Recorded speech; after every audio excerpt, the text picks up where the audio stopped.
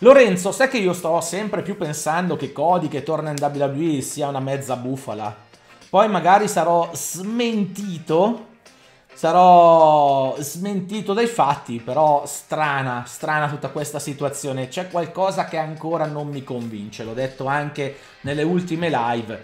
Come gestirlo? Beh, non lo so, non ho idea, c'è WrestleMania, io lo farei debuttare dopo WrestleMania. Nella puntata di Raw di stanotte in America, The Miz dovrebbe svelare il suo alleato misterioso nella battaglia contro Rey e Dominic Mysterio.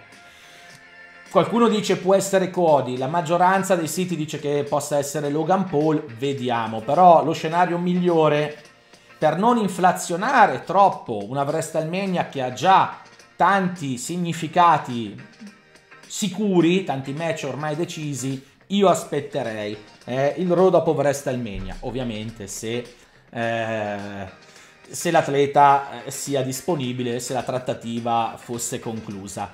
Parlate di Sani e delle sue dichiarazioni piccanti, delle sue avventure. Beh, lei e Missy Yacht non hanno mai fatto mistero di aver avuto tante storie nel backstage. Sani ha tradito anche il suo fidanzato storico, Chris Candido. Eh, Missy Yacht si è messa anche a giudicare le dimensioni e le prestazioni dei vari wrestler con cui è stata. Boh, insomma, sono storie un po' pecorecce venute a galla quando buttarle fuori era comodo da un punto di vista pubblicitario per le due, visto che hanno provato ad aprire siti a derivazione semi-pornografica. Quindi, boh, che, vo- che volete che vi dica? Cioè, è la loro vita, l'hanno messa in piazza, eh, va bene, insomma, che i wrestler tra di loro siano sempre stati molto promiscui e che la fedeltà matrimoniale, anche tra quelli delle federazioni minori, sia spessissimo messa in discussione, o sia traballante o sia inesistente, è un po' il segreto di Pulcinella, eh? Alessio Moroni, allora un dubbio per le lottatrici in Arabia. Eh, eh, i match femminili credo che in Arabia li taglino addirittura. E probabilmente i fan locali conoscono le combattenti perché in qualche modo vanno a vedere sul web, su internet. Però mi raccontava qualcuno, forse Sian Paolo, eh, che tagliavano proprio i match femminili. Tuttavia i fan, ormai con la diffusione del web, evidentemente eh, le ragazze se le vanno a vedere su internet. Eh, oggi con uh, le VPN, i router e bla bla bla, anche se ci dovessero essere dei blocchi imposti da un punto di vista legislativo, si riesce in qualche modo ad uscire dalla rete. Eh? Logan Paul non lo sopporti, Zendler, è un sentimento condiviso da molti in America e proprio per questo in tanti pagano per vedere gli show dove potrebbe buscarle, soprattutto quelli di, di pugilato. Quindi i fan che lo sostengono lo guardano e pagano, quelli che lo vogliono vedere con la faccia spaccata magari non pagano e rubano, ma comunque danno interesse, creano interesse scrivendo proprio sui social io non lo sopporto, spero che le buschi, mi sta antipatico e bla bla bla, comunque generano, generano rol mediatico. E lui è riuscito ad inserirsi in una nicchia che ora è diventata più che una nicchia, è diventata un oceano. Eh? Quindi, quindi buon per lui perché ha sfruttato un'occasione importante ed è diventato un personaggio che ha trasceso il mondo web ed è diventato una celebrità a tutto tondo. Ben arrivati a coloro che si stanno unendo, magari non vi nomino ma vi vedo. Ben arrivati, eh? Allora, Gabba Styles, eh, non mi ricordo francamente. Intanto Seven Fiend, 14 mesi, thank you! Grazie mille, grazie mille per essere di nuovo all'interno della bonanza bardica. Ah, non mi ricordo tutti i match del DVD di Bret Hart, però il Frank ai tempi me ne diede, eh, parlo di quello originale, me ne diede una recensione molto positiva, quindi sì, eh, il consiglio è quello di recuperare queste proposte ufficiali. Eh? Non ho novità su Leslie Evans, non ho visto niente di nuovo su di lei. Mentre Gail Kim EMA 994 probabilmente si è trovata nella WWE nel momento sbagliato. Si tratta di una combattente molto atletica, apprezzabile, ricordo alcuni suoi bei match anche nella federazione dei McMahon, ma non era ancora il momento della grande rivoluzione femminile. Vigeva ancora la legge dell'estetica e lei che aveva e ha un'immagine, diciamo, spicy, particolare, piacevole ma particolare, evidentemente non ricadeva nei canoni che ai tempi servivano. Oggi sicuramente se fosse giovane come allora inserita in questo contesto avrebbe certamente maggiori possibilità di profilazione, anche perché W cerca proprio look e provenienze differenti rispetto alla massa. Eh? Eh, Monster Samu TV, pay per view su Discovery Plus, li potete far arrivare solo voi. Guardando in maggior numero i programmi su Dimax, abbonandovi in maggior numero su Discovery Plus per guardare la WWE e guardando la WWE legalmente dall'Italia attraverso gli altri sistemi YouTube, profilo ufficiale WWE, WWE Network con gli abbonamenti. Se questi termometri non si alzano, la situazione non cambia. Purtroppo questi termometri negli ultimi anni si sono abbassati notevolmente a causa della pirateria, avete visto Sky non ha rinnovato con la WWE e quindi ce l'avete voi il potere. E io più di tanto non posso fare, eh? Quindi spero che arrivino, per me è lavoro, però più di così non posso dirvi, eh? che è la fotografia della realtà. Allora, allora, allora... Austin Theory, Greg Valentine ha fatto molto bene. Praticamente l'Elimination Chamber è stata divertente proprio, maschile, per la caccia del gatto col topo, di Brock Lesnar con lui, col topo che ha avuto un momento di redenzione e poi ha avuto un grande fegato a prendersi determinate cadute. È vero che c'erano dei tappetini che a me parevano un po' più rinforzati rispetto al solito sui laterali del ring, magari sbaglio, eh, l'ho detto nella live reaction, magari sbaglio, magari erano quelli di sempre, però insomma ci vuole coraggio e mettersi a disposizione dell'incontro, quindi ha fatto bene. Non è detto però che questo gli garantisca un domani un posto al sole, di sicuro gli garantisce il rispetto dei suoi colleghi e della dirigenza, che non è male, ma è una cosa che va coltivata col tempo, è una cosa che cresce, non è un mattone e basta, ce ne devono essere tanti.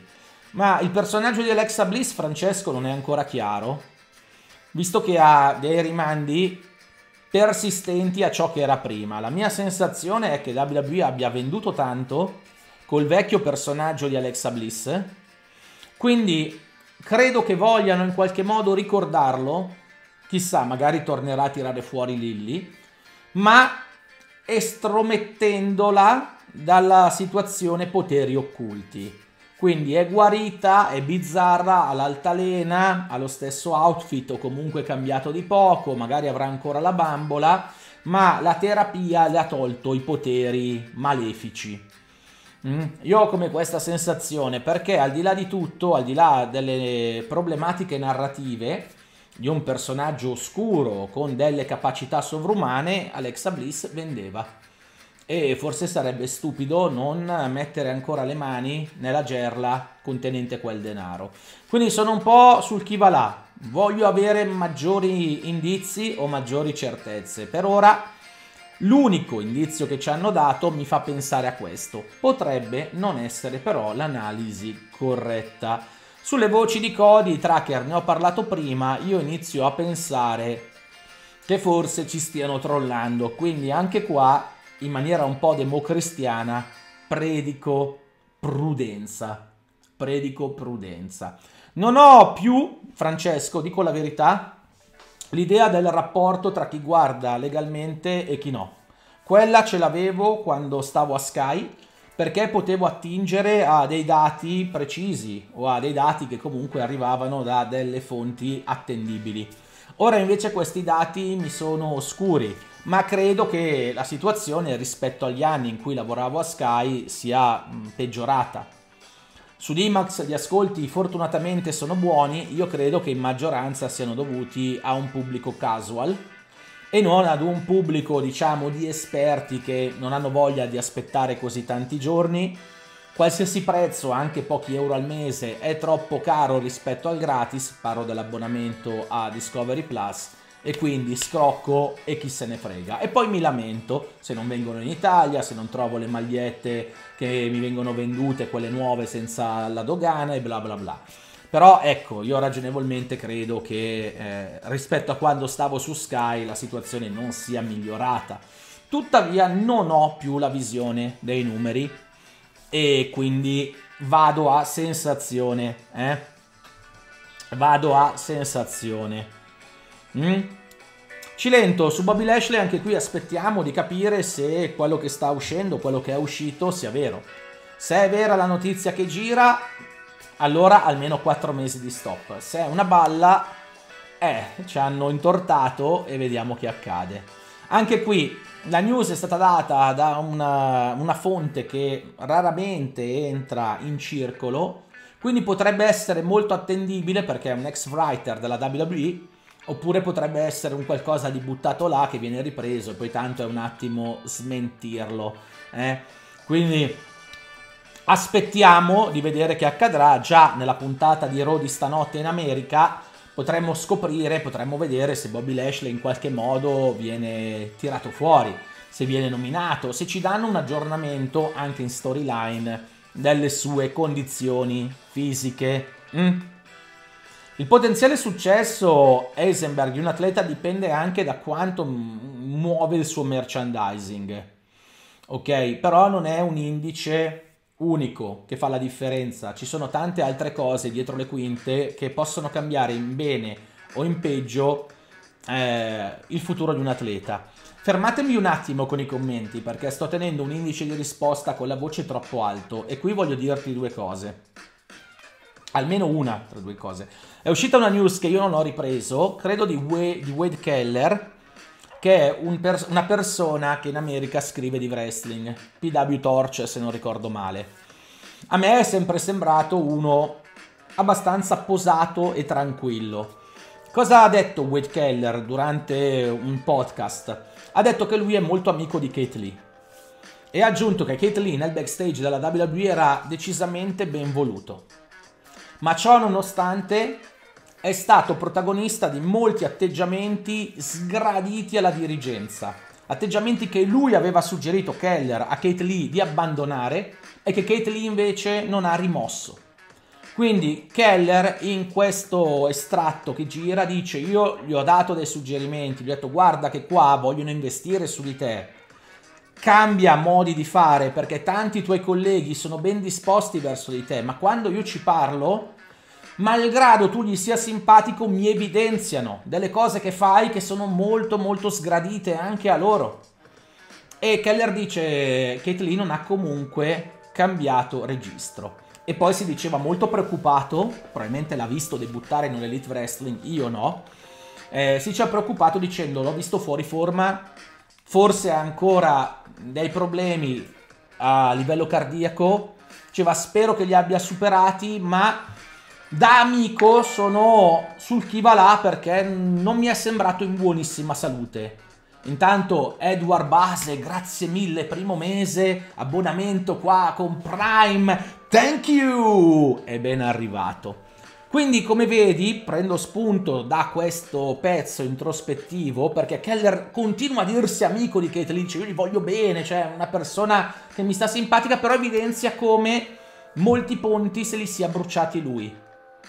Anche sulle confidenze che lo stesso Kate Lee gli avrebbe fatto. Quindi sì, il merchandising è importante, pensa a Bray Wyatt, quanto ne vendeva, ma poi l'atleta deve essere contento, Poi l'atleta deve essere malleabile alle esigenze della dirigenza. L'atleta deve dire ci vado, sono presente, faccio quando ci sono delle richieste per fare magari pubbliche relazioni o un viaggio intercontinentale per andare a parlare della WWE in Cina, ad esempio. Quindi ci sono tanti termometri. È chiaro che se vendi parecchio merchandising, beh, vuol dire che il tuo personaggio funziona però ci sono stati dei licenziamenti anche blasonati, Bray Wyatt, Bray, Braun Strowman e via dicendo, dove i personaggi funzionavano e come se funzionavano, ma evidentemente non basta il vendere magliette, cappellini e bandane per avere una garanzia né di lavoro né di stabilità ai piani alti. Mm? Va bene, va bene, va bene.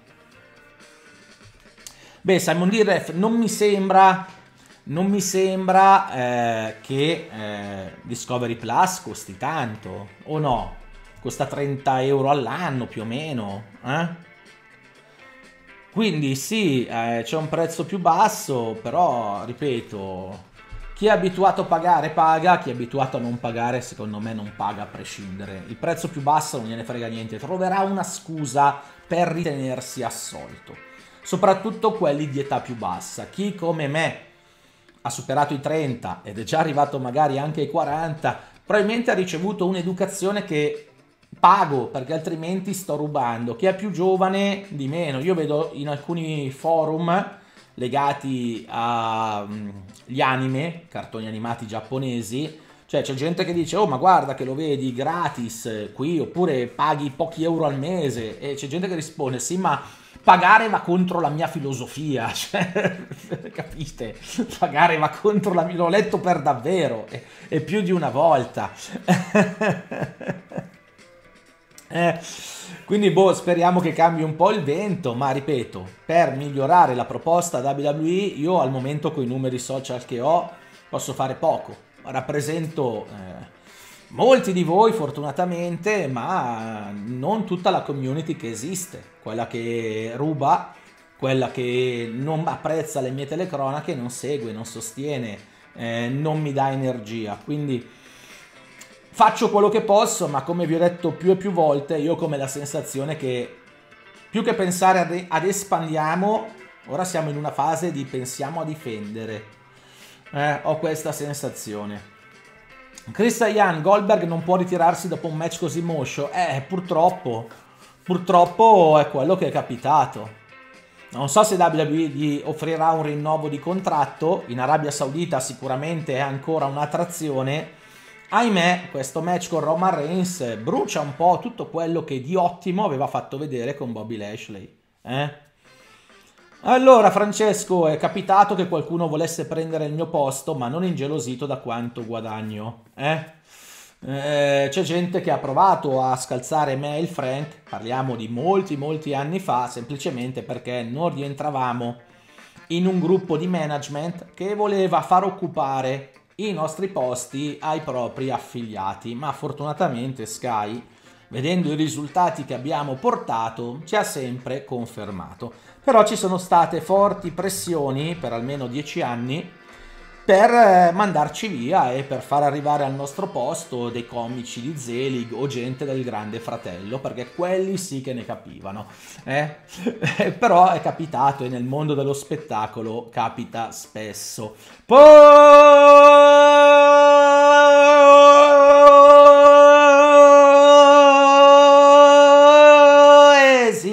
in movimento per Raffone 339 e dopo questo urlo bevo un attimo d'acqua. Allora, Noris Cattani, cosa fa ora il Reda? Ha comprato da qualche anno un bar eh, bello con un sacco di posti all'esterno in riva al lago, insieme ad altri soci, da quanto ne so, in un comune qui vicinissimo dove abito io anzi nel comune più vicino al rione in cui risiedo, al rione di Lecco, della città che mi ospita. Quindi ha questo bar insieme ad altri, quindi è spesso lì a gestirlo, ed è tornato a lavorare per Sky Eh, lui non me l'ha detto, tra l'altro, quindi Fabrizio, ti ammonisco, ti ammonisco. Però è tornato a lavorare per Sky e fa le partite della Serie C. Telecronaca le partite della Serie C. Quindi fa queste due cose, Fabrizio. Io lo vedo quando facciamo l'asta del fantacalcio una volta all'anno e ultimamente negli ultimi anni l'abbiamo tenuta nel suo locale. Quindi c'è ancora ed è tornato a Sky, sono contento, alla fine il calcio è un po' la sua passione principale. È rientrato dalla finestra e pian piano, chissà, magari col tempo arriverà anche a categorie più blasonate, chissà, speriamo, eh? Alessio, negli anni del boom, eh, il mettere via i soldi per guardare il pay per view della WWE. E quando non c'erano vie alternative, guarda, quando non c'erano vie alternative avevamo tutto. Chiaro, non c'erano neanche tutti i canali di oggi.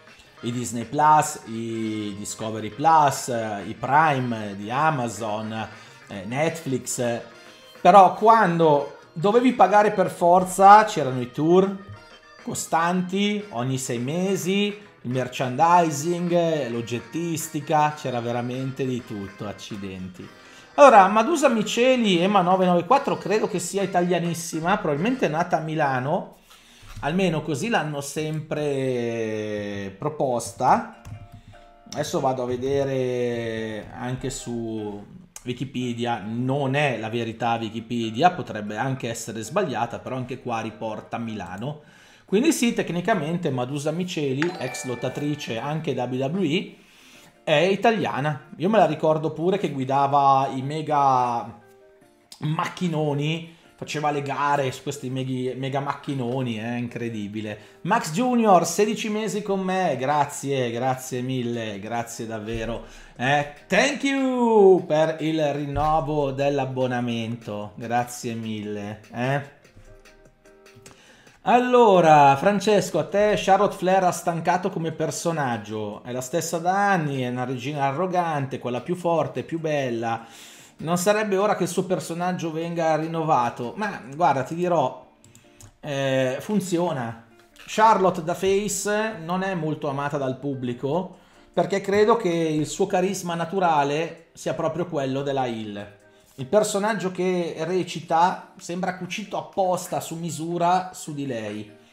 Quindi è anche difficile dire, vabbè, ora diventa l'amica del popolo, la paladina dei deboli, perché il pubblico americano ci crede poco. Ormai Charlotte è diventata talmente esperta e specializzata in questo alter ego che è complicato tirarglielo via, no? Usare il punto e croce e, e portarlo fuori. Eh, possono esserci dei brevissimi lassi di tempo di Charlotte come face, ma io credo che sia un po' come il padre, no? Come Ric Flair. Faccio il face, ma in realtà lo faccio per pugnalarti alle spalle e torno subito il. Quindi, se a te ultimamente annoia, ci sta, è una sensazione personale.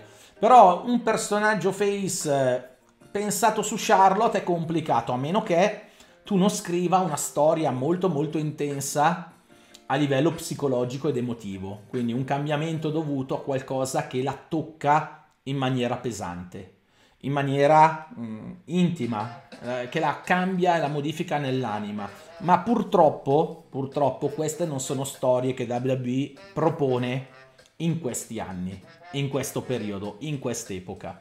Quindi sarebbe bello è un evento scatenante, forte, capace di cambiarla, di farla, far rivedere la sua scala di valori, eh, ma WWE su questo punto di vista, oh, io do pane al pane e vino al vino, eh, queste storie non le sta più proponendo. Madusa non parla italiano, Lippino che è probabile, da quanto ricordo era nata a Milano, ma i suoi genitori si erano praticamente quasi subito trasferiti. Eh? Beh, Discovery sono d'accordo, Edward Base, i prezzi sono bassi, il servizio è buono, vabbè, ogni tanto c'è qualche problema, ma insomma, eh, capita. E noi telecroniamo tardi, oh, queste sono le richieste. A Sky quando c'era la possibilità, telecronavamo anche il giorno dopo. Ora c'è anche la pandemia che ci fa telecronare da casa, quindi hanno deciso di fare così. Voi fateci un ragionamento, siete astuti e intelligenti. Se hanno deciso di fare così è perché hanno fatto dei conti e se vanno in onda con così grande ritardo con le puntate in italiano, evidentemente è perché vogliono prendere il pubblico casual. Perché evidentemente hanno fatto delle ricerche, ma questa è la roba che penso io, eh, non è la roba che mi hanno detto loro. Voglio chiarirlo chiaramente, è il mio pensiero, che non rappresenta loro, eh. Però avranno visto che evidentemente i numeri d'ascolto li fai con i casual. E quindi i casual sono quelli che vanno a targetizzare. Eh? Allora, Nico, a te è piaciuto? Hanno fatto tornare a vincere un match a, a Bianca? Beh, adesso ci sarà grande, la grande rivincita. Eh? A WrestleMania con Becky Lynch. Vediamo come andrà a finire. Rhapsody, ben arrivato a te, a Valerio, a tutti gli altri che si sono uniti.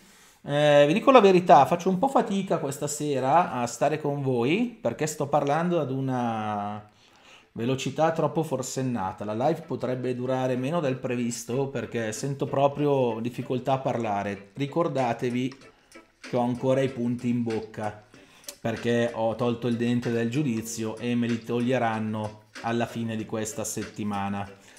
Eh, L'Ita l'ho trovata in forma Beh, all'inizio forse era un po' sfasata, eh, faceva fatica. Poi però col passare dei minuti, complice anche la bella accoglienza del pubblico arabo, secondo me un po' si è sciolta. Ripeto, non sto tanto a formalizzarmi sugli errori tecnici che ci sono stati anche copiosi nel match tra lei e Becky. La cosa che più mi è scocciata è stato che in un momento, forse addirittura in due, di massima drammaticità, abbia coperto male la rivale, facendomi capire che quello schienamento che poteva essere così importante anche nel non arrivare al 3 eh, mi ha fatto capire troppo facilmente che non era lo schienamento finale. Però a parte questo l'ho vista emozionata, l'ho vista visibilmente felice di essere nel ring. Oh, l'ho trovata molto onesta, no? Nelle sue anche nelle sue emozioni, molte eh, fingono anche in maniera eh, fin troppo visibile, non sono ottime attrici. A me Rita è sembrata, ecco come vi dicevo, onesta, anche così, con questo contraccolpo emotivo, no? Io credo che abbia fatto bene, insomma, ha anche una certa età, insomma, non è vecchissima, ne parlavamo in live reaction uno la pensa più anziana perché è ferma da tanto tempo, ha 46 anni, però è tornata a lottare dopo una lunghissima assenza e tutto sommato sul ring ha dimostrato di saperci stare. Peccato, peccato che quel match lì fosse a Elimination Chamber in Arabia Saudita, l'ultima tappa prima di WrestleMania. Secondo me in un'altra circostanza senza l'oppressione, soprattutto su Becky, che cacchio se mi faccio male, poi WrestleMania che succede, in un'altra circostanza, poniamo a SummerSlam, probabilmente il match sarebbe stato migliore. Io ho visto tanta paura all'Elimination Chamber mh, mm, che gli atleti si potessero infortunare. Anche le entrate nelle gabbie così veloci, l'utilizzo estremamente raro della struttura, a parte Brock Lesnar che sbatte giù eh, Austin Theory, beh, mi fa pensare che siano andati un po' tutti non al risparmio, non voglio essere così cattivo, ma che tutti siano andati con una marcia in meno e abbiano evitato rischi. Abbiano evitato i rischi. Austin Theory era spendibile per certi versi, un po' perché è giovane, un po' perché deve crearsi quella stima nel backstage, quindi le cadute grosse se le è prese lui. Però tutti gli altri le hanno un po' evitate, no? Quindi quel match lì tra Lita e Becky probabilmente in un'altra collocazione di calendario sarebbe stato ancora migliore. Mia idea, eh? Mia idea. Intanto Simonea e tutti gli altri ben arrivati. Guardo live su Twitch, ti capisco. Eh, capisco i rinfacci di tuo padre. Il mio il mio un po' mi rinfacciava tutti i soldi spesi per le riviste del wrestling quando ero adolescente. Eh. Mi diceva guarda lì, io le conservavo, le ho ancora. Eh. sto, capitale di carta. Dicevo, Beppe, ma mi piace. Alla fine, al sabato non vado in discoteca e, e ho le mie riviste. Eh. Alla fine, fortunatamente, si sono trasformate in un lavoro che speriamo possa proseguire ancora per tanti anni. Zendler no, non è previsto nessun altro evento prima di WrestleMania, quindi al momento al momento la card dello showcase degli immortali, salvo qualche variazione imprevista, è praticamente delineata.